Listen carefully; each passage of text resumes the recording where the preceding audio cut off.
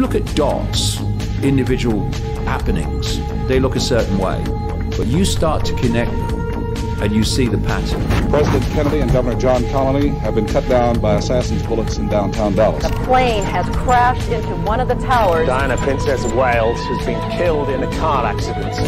Assassinations are not just made to happen, they have to be allowed to happen. What do you think happened with Kennedy? He was taken out for a number of reasons. One of them was that he wasn't keen on going into the full blown Vietnam War. If you said to most people, it still is most people, how many buildings came down on 9 11? They'd say two. Go on the internet and you put in Building 7 collapse or whatever. You will see the most obvious controlled demolition you'll ever see. There's some people who think that they were drones. Oh, absolutely. Oh, God, yes. There were 84 cameras in and around the Pentagon, uh, which we've never seen. Princess Diana death. You alluded to the fact that you thought she was murdered. She knew literally and symbolically where the bodies were buried for a start. And she was becoming bigger than the royal family. And, and I, I go back to it. She knew their secrets. The police knew about Savile. They knew what he was doing, but for some reason he wasn't nailed. And he wasn't nailed because he was a procurer of children for the rich and famous, and therefore his back was washed. The world is controlled by basically a spider's web. The cement